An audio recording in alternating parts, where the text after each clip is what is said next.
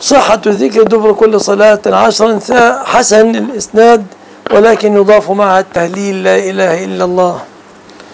يضاف معها التهليل.